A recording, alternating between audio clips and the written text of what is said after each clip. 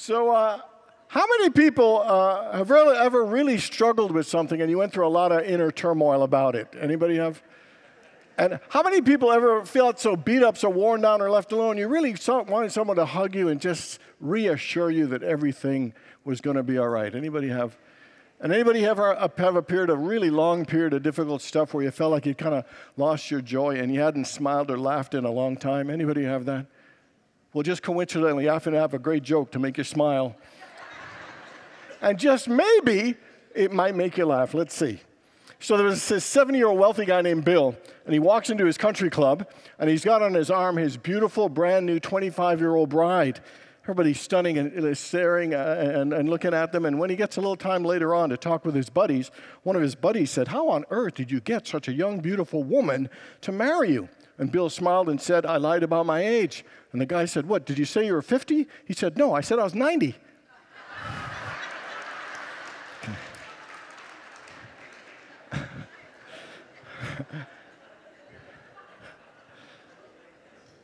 that was an old joke. And uh, so today, this is week two of our five week annual series, The Songs of Life, uh, where I take a famous song and extract a powerful spiritual message from it. And I love doing this because I love music. I think we all love music.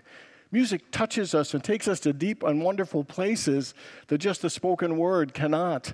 And I think that there is something so meaningful and profound. I think music just makes us happy. We all have songs that have helped us through tough times or help us uh, uplift us when we feel down. You know, whether it's the Beatles or Beyonce or Stevie Wonder Stevie Nicks. I mean, there are a lot of great artists out there that bring us songs that touch us. Last week, uh, we kicked it off with Taylor Swift's uh, song, uh, Shake It Off. And that's relevant to all of us because we've all been judged in some ways, in some negative ways, and we've got to shake those things off and not let them have a negative impact on us. Uh, that song was from 2014, so we're going to go back 55 years to the Beatles.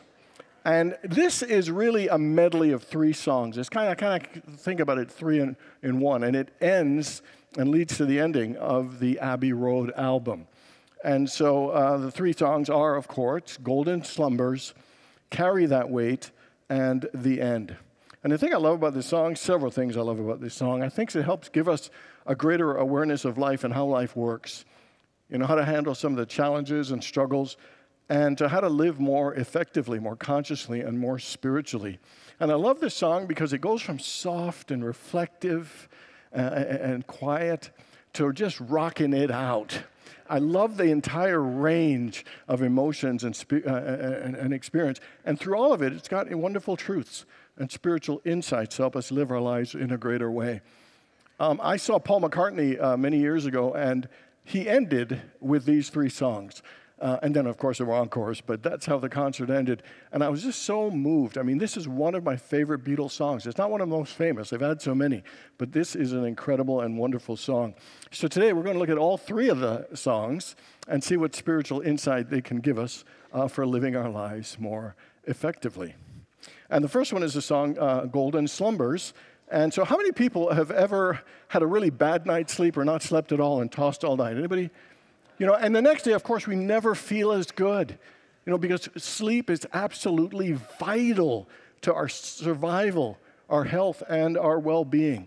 You know, babies sleep for 12 to 16 hours a day because it is in sleep, you know, that we grow, you know, that we heal, that we repair.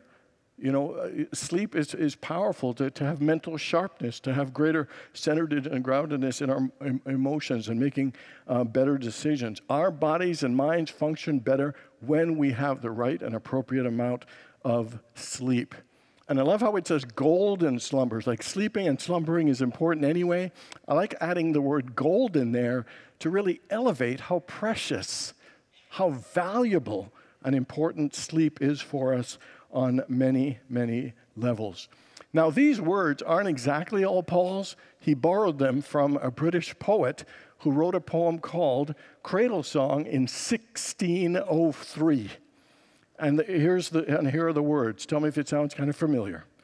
Golden slumbers kiss your eyes, smiles await you when you rise. Sleep, pretty wanton, do not cry, and I will sing a lullaby. And I love how it goes from sleep, which is valuable and important, and creates this experience of tenderness and caring and nurturing and comforting and reassuring.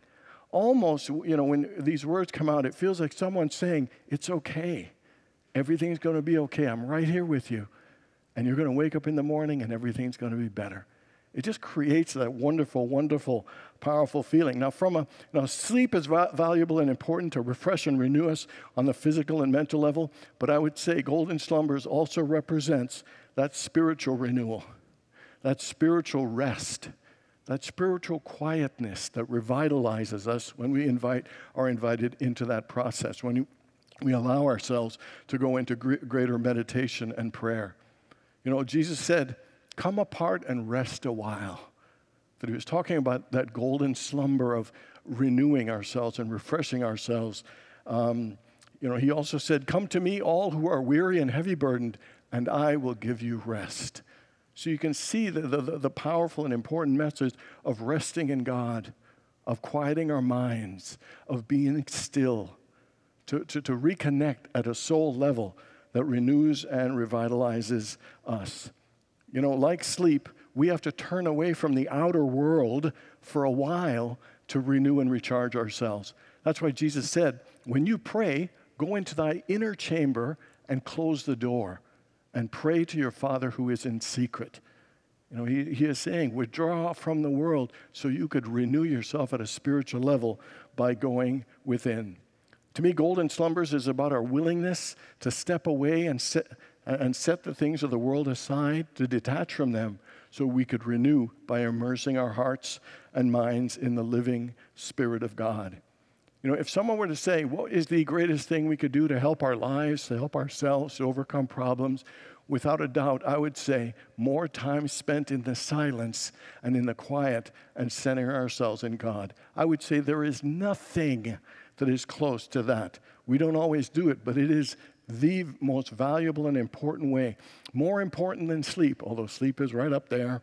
It, it, it, is, it is the spiritual version of sleep, of renewing and recharging ourselves. You remember the, the, the, the uh, parable of the pearl of great price? You know, someone found this pearl hidden in a field, and it was so valuable that they, they hid it, went and sold everything they had, and then purchased the land so they could have this pearl of great price. And the pearl of great price is our relationship with God. It is our quiet time of connecting and replenishing and revitalizing ourselves spiritually. And then when you find that, you hide it, you keep it to yourself.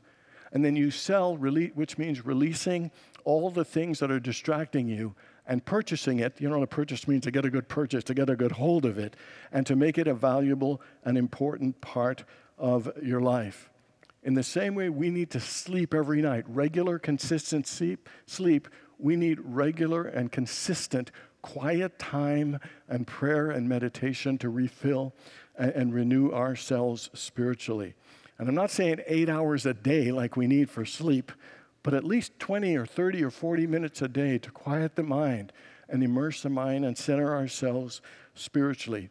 Jesus prayed consistently, he prayed regularly, he prayed daily, every single day. It was a regular part of his life, just as eating and sleeping uh, are a part of, our regular, regular lives. How many people heard, have heard of the Silva method of mind control? Anybody heard of that? What is the absolute foundation for that to succeed? It was, by the way, Jose Silva created that back in 1960. It was a mental process program for us to tap into to greater levels of creativity and, and insight and, and, inspiration, and even get a level of a clairvoyance and to be able to see even beyond uh, the current situations. The absolute fundamental for that to succeed was a mind that was quiet and relaxed. A clear mind that was non resistant with fear, anxiety, or, or, or doubt. That that that was the most important thing. The clearer you make your mind, the more you can quiet and rest and relax and open your mind, the greater your chance for creativity and insight and inspiration and divine guidance coming in and through you. And when we devi- you know, deprive ourselves of sleep, we don't think as clearly. We don't feel as good. But I would say when we deprive ourselves of spiritual practice, of, of spiritual slumber, we undermine and sabotage our own peace and our own levels of happiness. This song is saying that sleep is golden slumber that's important, but prayer is golden. Meditation and quiet time and devoting that time with God is absolutely golden. The second song we're going to look at is uh, Carry That Weight. I bet every single one of us has had a time in our lives where we felt like the weight of the world was on our shoulders. Anybody ever have that experience? Okay, about three of us, that's good. What if I told you that you are 100% responsible for your life? 100% responsible.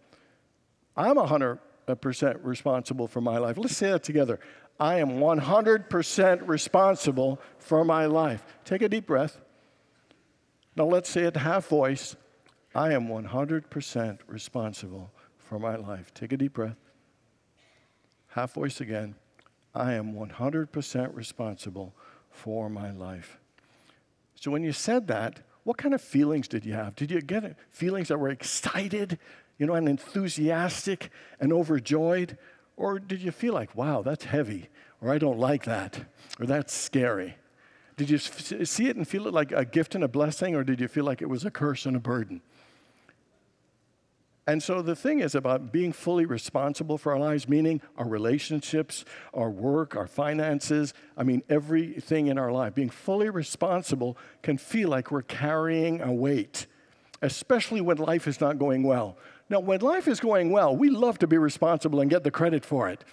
But when things are not going well, clearly there is someone else at fault. It's easy to want to blame. You know, we want to blame the boss. You know, we blame the president. We blame the economy. You know, we blame the weather. And of course, those damn Canadians, we got to blame them a little bit. so, you know, we like to blame. We, we, we love to blame. But you know what happens with blaming, as fun as it might be for three or four seconds? Is that we give our power away to someone else. We say that my peace and happiness is affected by them. They control my peace and happiness. And when we fully accept responsibility, it means that we take control of our lives. It, it means that we are empowered to make new choices, new decisions look at things in a different way, shift our attitude and perspective, think of a new game plan. That we, when we are fully responsible, it means that we have the power to change and respond to whatever situation in a way that uh, will improve and transform it. And I would say accepting full responsibility also means that we are willing to accept that some things just are. Being fully responsible also means to just realize I need to just make peace with this, or I need to make peace with what's going on right now. To carry that weight means that you are fully responsible for your life, but it doesn't have to be a burden. One of my favorite spiritual writers is Ralph Marston. Here's what he says He said, The more responsibility you take for your own life, the better your life will be. The more responsible responsibility you take for your own circumstances, those circumstances will be more to your liking. Even though your current situation may largely be someone else's fault, it is still your responsibility because the way you the way to be in control of your life is to take full responsibility for it.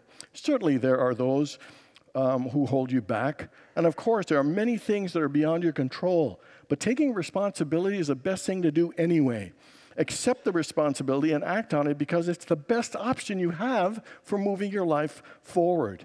Every time you blame others, you give up control over your life. And that's certainly not what you want, and it certainly will bring you nothing of value. Step up and take responsibility no matter what, as often as you can, and do it enthusiastically. For when you take responsibility, what you get is control and the power to be your best. So I want you to think of a situation in your life that may not be going as well as you'd like. And my question is are you accepting full responsibility for that? Meaning, are you feeling empowered? And are you feeling positive? And are you feeling hopeful about how you can help transform that into a greater situation? Or are you feeling negative or frustrated, overwhelmed, annoyed, or hopeless. We are 100% responsible for our lives, and it's not a burden, and, and it's not a punishment. It is a gift, and it is an empowerment that every single one of us has. We not only are fully responsible for our lives, but I believe we bear responsibility for some of the people in our lives as well. Martin Rutte says, You have to do it for yourself, and you can't do it alone. We are responsible for ourselves, and we are responsible for caring and helping and supporting others in the way that we can. You know, it, it says in the Bible so many times to help others and help ourselves, to love others and love ourselves, for care for others and care for ourselves. It even says carry your own burdens, but carry the burdens of others as well. We have a responsibility to ourselves and we have a responsibility to those people in our lives and to help in a way that we can help. We all need help in some way. I love AA and helping parents heal, organizations that have people help people. You know, we all need help and we all need to help to make this a better and fuller life. To only look after ourselves is not healthy, and to only look to, to help others is not healthy. To find that balance of responsibility for our own health and well being and to support others, I think is valuable and important. And it's important to help but not enable. Sometimes we can cross the line of health, helping people in a healthy way, um, which enables and actually weakens them. And we know it's not healthy when we begin to feel so depleted that sometimes we need to look at that and say, is this the best thing? And is this the best strategy? Let me give you a biblical ex- example. So, Peter, Jesus is washing the disciples' feet, and Peter says, Oh, you don't have to wash my feet, Jesus. And Jesus said, No, I need to wash your feet because you'll be a part of me. And then, he said, then Peter says, well, what the heck? Since you're washing my feet, can you wash my hands and my face as well? And Jesus says, Heck no. That's inappropriate. You got to wash your own face. You got to wash your own hands. And so, and what he's saying there is that helping and being responsible and caring for each other is good, but don't cross the line when it begins to enable, because it'll weaken them and it'll frustrate you, and we don't get to each live our lives to the fullest. Does that make sense, everyone? And to be fully responsible for our lives is you have the power to act. You have the power to choose. You have the power to make new decisions.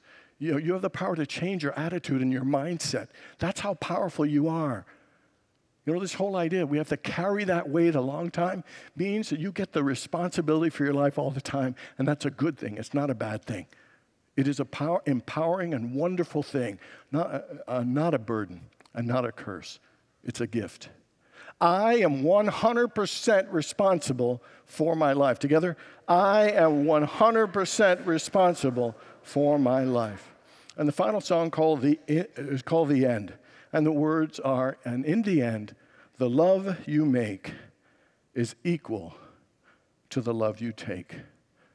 Two things that's talking about. Number one, how valuable and important love is. There is nothing we desire more in life than to be loved, than to feel cared for, to feel cherished, to be valued and supported, to need and to be needed. Nothing more important that we care about. It doesn't matter what our job is that we do, and yes, the job's important and, and, and makes a difference, but love is the thing. There's no knowledge or degree or thing that can ever replace our need and desire for love. And you ever notice when you feel love, you feel joyful? you feel hopeful, you know, you feel fulfilled, you feel positive, you feel supported, you feel nurtured, you feel compassionate, you feel generous. Like I believe when you feel love, everything else flows from love. All the other dimensions and wonderful qualities of life all f- flow from when we feel filled with love. You know, it says faith, hope, and love, and the greatest of these is love. And I love the, you know, I, you know, as a minister, we do a lot of, of funerals and, and, and did a preparation a meeting this week. And in every single funeral, when they talk about someone, you know, and, and, and they did this or that, is what they remember most is the love that they shared. The love that still remains. Love never dies. Even after these physical bodies die, love remains. Love endures. Love is the thing that will continue on. So, in the end, the love you make is equal to the love you take is talking about how important love is in the end. That is the final and most important thing. And then the second is that what you put out is what comes back to you. The love you make is the love you take. It's talking about the law of sowing and reaping. You know, what we sow, we reap. What we put out, you know, comes back to us. So my question for you is, is that what are you sowing and what do you put, what kind of energies are you putting out in your life? And what are things are, are you reaping? What are the things that are coming back? And what are the things would you like to reap? Because if you want to reap it, and it's the law of sowing and reaping, it means we get to start sowing some new things. You know, if we want more joy, let's sow more joy. If we want more kindness, let's sow more kindness. You know, if we want more appreciation, let's sow more appreciation or sow more positivity, sow more passion, sow more friendship, sow more, more generosity and possibilities. It's all there. What we put out into the universe, it'll come back to us. A level of fulfillment of our lives is, is what we put out into the universe. And there's so many ways we can put good out. You know, there was once a Scottish farmer, a really poor farmer named Fleming, and uh, he was working on his farm and he was just struggling to get by uh, for his family. And he heard way out in the distance somebody kind of screaming and yelling. He went, and this young boy was in mud up to his waist and kind of sinking. And he, you know, he, if he had been left that way, he probably would have had a horrible death. And so the farmer Fleming uh, saved him. The next day, a carriage pulled up, and there was this nobleman, and he stepped out and he said, Are you the man that saved my son? He said, Yes. He said, I want to repay you. He said, No, I don't need anything. And uh, this nobleman said, Well, I, what I'd really like to do is your son. He saw that he had a son. He said, Could I pay for his education? And the guy was so poor, he wanted to help his son, so he agreed, and the nobleman paid for his, the, the son's education. And the son went on to be a doctor, and uh, he became uh, Sir Alexander Fleming, who discovered penicillin. And years later, the nobleman's son was stricken with pneumonia, and the thing that saved his life was penicillin. And the nobleman's name was Lord Randolph Churchill, and his son that was saved by the penicillin was uh, Sir Winston Churchill. I always kind of like that story, and it's really kind of cool. But the point is, it's the energy we put out into the universe all the time. It's all the little things that we say, all the little things that we do, all the thoughts that we think, all the ways that we treat others, all the way that we process, you know, when we get judged, and all the, the different things. All the things we put out into the universe will always come back. Life is energy. And the vibrations that we put out will be the vibrations that we attract then, and, and that come uh, through to us. And we just like, we got to be like a farmer. We got to plant those seeds, sow those seeds, sow those seeds, because that's what we'll be uh, reaping. That's what we'll be harvesting in our lives. To me, to sow and reap, to sow means that uh, it, it, how we choose to live our life and put our energy out there. Here's a little poem that I love that kind of shares about how to live life, what life is, and how to live it. Life is an adventure. Dare it. Life is beauty, praise it. Life is a challenge, meet it. Life is a duty, perform it. Life is a love, enjoy it. Life is a tragedy, face it. Life is a struggle, fight it. Life is a promise, fulfill it. Life is a game, play it. Life is a gift, accept it. Life is a journey, complete it. Life is a mystery, unfold it. Life is a goal, achieve it. Life is an opportunity, take it. Life is a puzzle, solve it. Life is a song, sing it. Life is a sorrow, overcome it. Life is a spir- spirit, release it. Life is a wonder, cherish it. You know, these three songs, I think they're, they're about realizing God is your source. And the, blessing, the best thing you could do is to have spiritual slumber and quiet time to refill and replenish yourself spiritually. It is the most powerful thing to do to take time to quiet, to connect with the source of all good and the source of all life. Secondly, is you carry the weight of responsibility for your life every single day. And it isn't a burden, it's a gift and a blessing that says you are so powerful and empowered, you can transform anything in your life, and you have the responsibility to help others to make their lives better as well. And finally, in the end, love is the greatest thing. And to be careful about what you put out, because what we put out is what comes back to us. And that is the message from the three songs Golden Slumbers, Carry That Weight, and The End the end.